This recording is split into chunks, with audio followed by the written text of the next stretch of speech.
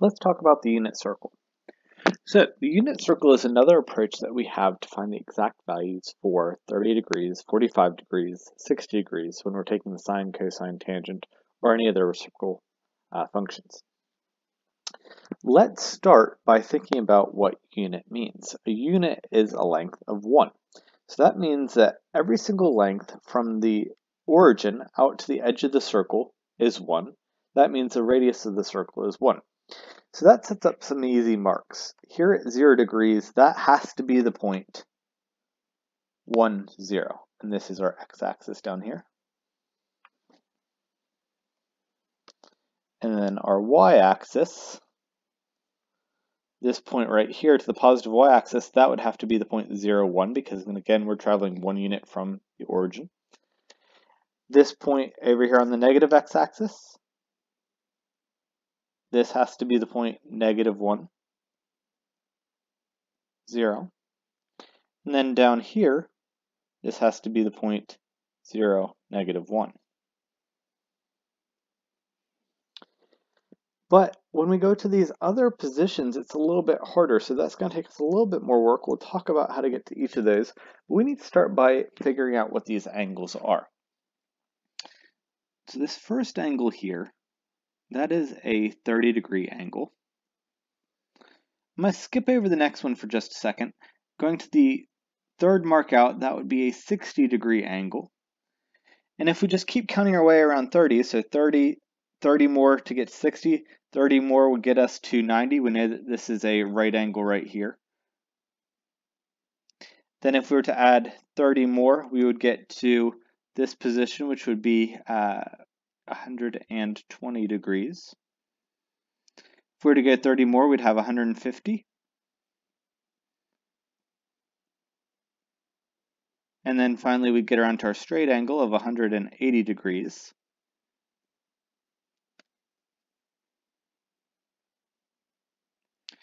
Then going 30 more, 210, 240, 270, uh, then we'd have 300, 330, and then finally we get back around to 360, which is the same as zero. So we've counted our way around. These are all degrees. I'm leaving the degree symbol off just because it gets a little bit messy. Uh, this one in here, let me clean that up, is 150. So let's talk about all these blue positions first. Now, what we know, we know the length of this side right here. This side has a length of 1 we know the angle is 30 degrees. Well, we've talked about a special right triangle that had 30 degrees in it already. So let's think about that triangle. Triangle had 30 degrees, had 60 degrees, and of course, the third side was 90 degrees. We said opposite of the 30 degree angle was a length of 1. Opposite of the 60 was a root 3, and the hypotenuse was 2. Now, these two triangles are comparable, but the problem is we've already designated that hypotenuse, that third side, to have a length of 1. So we do have a 30, 60, 90 right triangle in here. Right there in the green, we know the angle is 30. We know this hypotenuse is 2. We're looking for the x and the y to figure out what this is as a point right here. Uh, so we need to be able to compare these two triangles, and we're going to do that by dividing this 2 by 2. We need this side, this green hypotenuse, to be a length of 1. So I'm going to divide everything by 2. And so when I do that, I get lengths of 1, 1 over 2, and root 3 over 2. And those should seem pretty familiar from what we did with our uh, special right triangles from before when we looked at sines and cosines. So now we can define this point right here to be the point, well, the x is the horizontal distance, the root 3 over 2. And the y is the 1 half. Next, we're going to come up to this point right here. So I'm going to look at this green triangle next. This triangle has an angle, and here we've already said is 60 degrees. It's that angle right there. Uh, we know the hypotenuse is 2. And if this is 60, well then this has to be 30. So we're looking at the same 30-60 right triangle, but this time it's been turned up on end. So the 60 is in that bottom corner here, and the 30 is on the top, but we know the, the sides around it. Uh, one, let me switch that to what we, yeah, 1 root 3 and 2. Uh, and so we need the hypotenuse once again to be 1. So I'm going to divide all these sides by 2 to get the hypotenuse to be 2. We see we end up with the same ratios just in the opposite order of the previous point. So this point right here has to be the point 1 half root 3 over 2. I've ignored this middle line for a minute. We'll talk about that in just a minute. So we now know uh, these points along the axis, those were easy, and then the two that were designated by the 30 and the 60 right triangles. If I look at these points going around the circle, the 120, the 150, 180, obviously we know, 210, 240, 270 we already knew, and we have 300, 330, the, the, going back to the positive x-axis we already knew, all these additional points at the 120, 150, 210, 240, 300, 330, I now know all of those because all of these are going to set up the same triangle. So if I look at 120, it is exactly the same triangle as the one we just drew out, except it's in a different quadrant. If I look at the 240, it's exactly the same triangle, except it's in the third quadrant. If I look at the 300, exactly the same triangle, except that it's in the fourth quadrant. So what I'm going to do is I'm going to use these uh, use these um, points that I've just found to get these additional points that we just drew out those green triangles for. So this angle 120, that has to occur at the point negative 1 half, because it is in the second quadrant, root 3 over 2. Negative 1 half root 3 over 2. The 150, that point must be negative root 3 over 2, comma 1 half.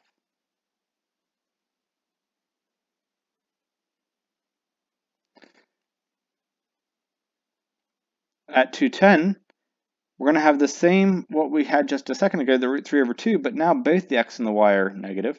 Negative root 3 over 2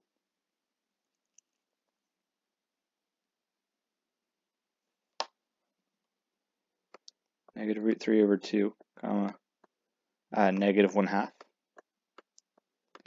At 240, that's going to be the same as the 60 degree triangle, but because we're in the third quadrant, both quadrant uh, coordinates are negative, negative 1 half root 3 over 2. Uh, negative root 3 over 2.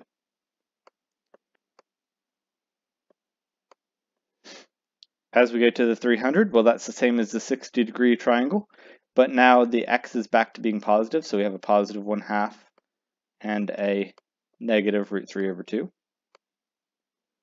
And then finally finishing up with the uh, with the 330 degrees, that's the same as the 30 degree triangle, but the x is positive, the y is negative, so we have positive root 3 over 2, negative 1 half.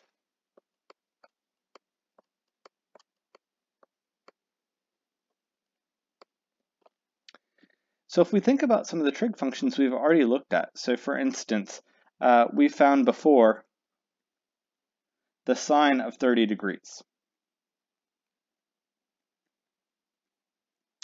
And in our special triangle, we said, hey, the opposite is 1, the hypotenuse is 2, we'd get a ratio of 1 half.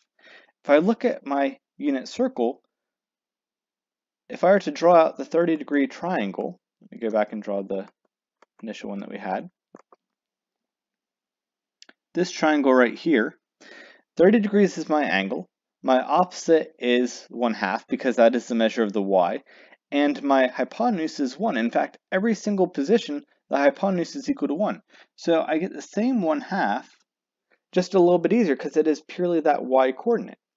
If I were to look at the cosine of 30,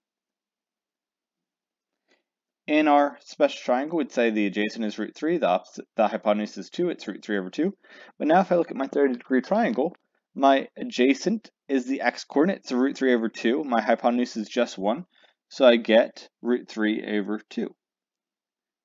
So what that means is all those trig functions that we defined before, sine, cosine, tangent, they all become a little bit easier. Sine of an angle, when we are looking at a unit circle uh, value, is just the y-coordinate. Cosine of an angle is just the x-coordinate. Now tangent's not going to look a diff lot different, it's still a ratio, it's going to be the y over the x.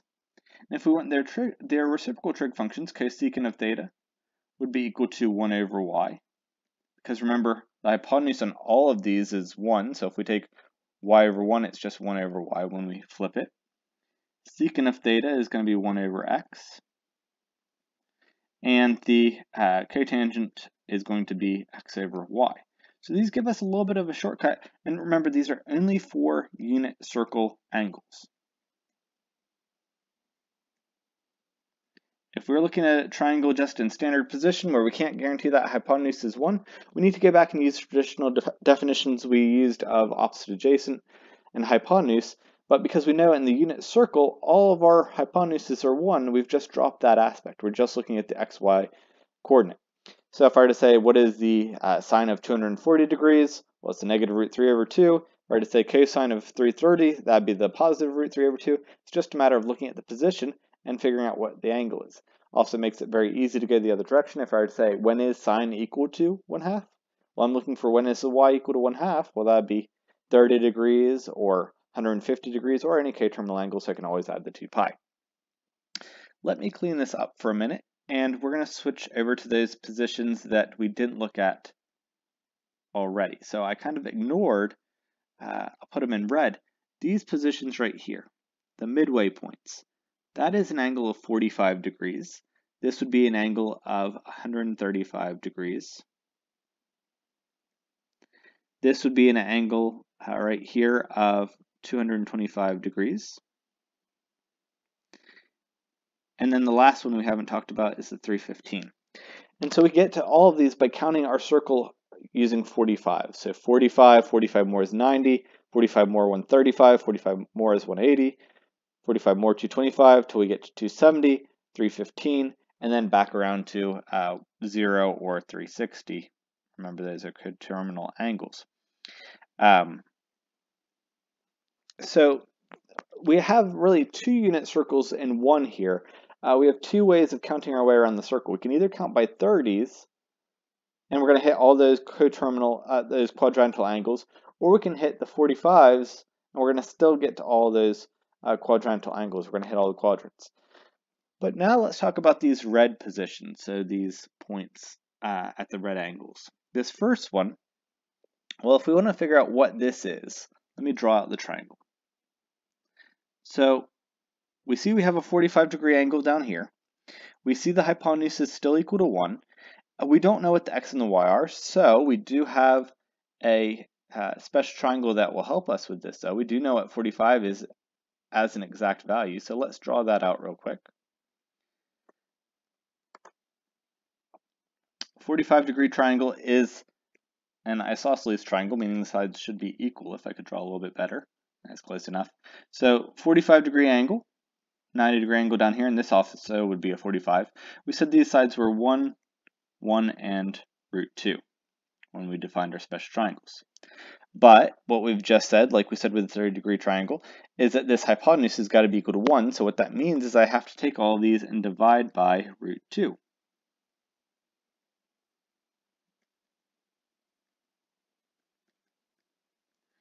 And remember, when we divide these by root 2, what that gave us was root 2 over 2 after we rationalized. And so I'm going to rationalize these values again.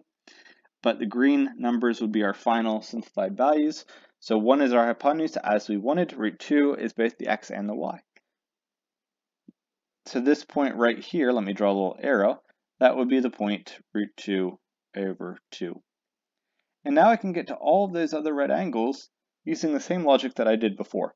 That green triangle has to be the same as this green triangle, the 135 degree angle has to be the same as the 225 going down here to this point has to be the same as the 315 going down to this point. And so I'm going to just use that same point that I defined just a second ago, the root 2 over 2, root 2 over 2, but I'm going to have to change the signs. So this will be negative root 2 over 2, comma root 2 over 2.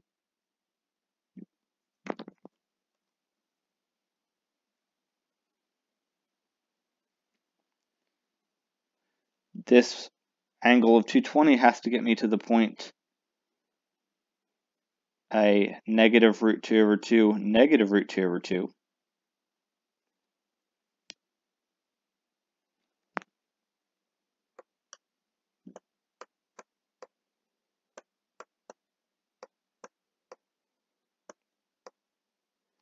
And then the final position, the 315 degrees, the x is back to being positive. So we get a root 2 over 2 but the y stays negative root 2 over 2. And so now we can do all the same things that we were doing just a second ago with the sines, cosines. Uh, we don't have to look at it in terms of opposites and adjacents anymore. If I were to take the cosine of 135 degrees, we could draw out that triangle. We could think about in terms of reference angles, or I could just say, hey, it's the x-coordinate. It is negative root 2 over 2. We see the same pattern setup that we've seen in other cases. Anytime we're in the first quadrant, all the trig functions are going to be positive because all the the uh, positions, all the coordinates are positive. When we're in that second quadrant, because the x values are negative, that means cosine is going to have to be negative in the second quadrant. Also means tangent has to be negative, but sine would be positive. The reciprocals will match up. In the third quadrant, we can see that everything is negative, so that means sine and cosine would be negative, but tangent, because it's a ratio of the two, tangent has to be positive, uh, cotangent also being positive. And then in the fourth quadrant, the x's are back to being positive, so that means the cosines would be positive, the sine and tangent would be negatives. So now we've gone our whole way around the, the circle, we can see we're getting the exact same values as we did with the special triangles, a little bit simpler just because we're looking at just the one coordinate, so it might make it a little bit faster. Now the trade-offs, it is a little bit faster probably for sine and cosine, and for secant, cosecant to use a unit circle. Tangent, cotangent, because you're still looking at a ratio, probably not any faster. Uh, but the downside, even though the unit circle is faster, is there's just a lot more going on here. So what I would recommend, if you are going to bother to learn anything, concentrate on this first quadrant here.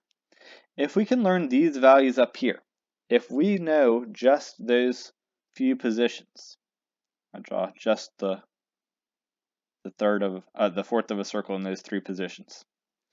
We know these three positions, we can still use our reference angles to place it into all of the other quadrants. So we know that this point up at the top would be the point zero one. The x value is going to grow. It's going to get up to 1 half root 3 over 2. But we can still see that the y is larger than the x. And so that's why the root 3 over 2, the larger number, is in the y position. The halfway point is the easy one usually because the root 2 over 2, that one I see most people get right. It's the 30 and 60 I see uh, people confuse. And so then we get to the last position, the 30, and that is where the x finally gets bigger than the y, so the root 3 over 2, comma 1 half. So again, angles of 30 60, uh, sorry, not 60, 45, and then 60, because we don't just count our way around. Uh, we have to go up. 30, 45, 60. Uh, of course, the right angle, 90 degrees, gives us 0, 1, and the initial starting point gives me the point 1, 0. So it's a lot easier to only memorize these three values in here and then just know how they go into the other quadrants. Our x's are negative over here, x's and y's both negative here, and then y's uh, negative in the fourth and that way it makes it a lot less messy. Also, uh, I've heard um, this little saying to help you remember the three positions here, the numbers on top, one, two, three, one, two, three, if we kind of count our way in a counterclockwise circle, one, two, three, one, two, three. Twos are always on the bottom, and the numerator is always under the square root. Well, you might be saying one's not under the square root, but what's the square root of one? It's one. So the numerator can consider it as always under the square root. So that makes it a little bit easier to memorize the unit circle. We don't have to memorize the unit circle. We can go back and use the special triangles. That's actually what I prefer. When I do these problems, I always draw a special triangle. I do not mind which of the two methods you're comfortable with, as long as you're comfortable with one of the two. We do need to know how to get the exact value uh, of 30 degrees, of 45, of 60, or any of their coterminal positions. But we have the unit circle and the special triangles available to us.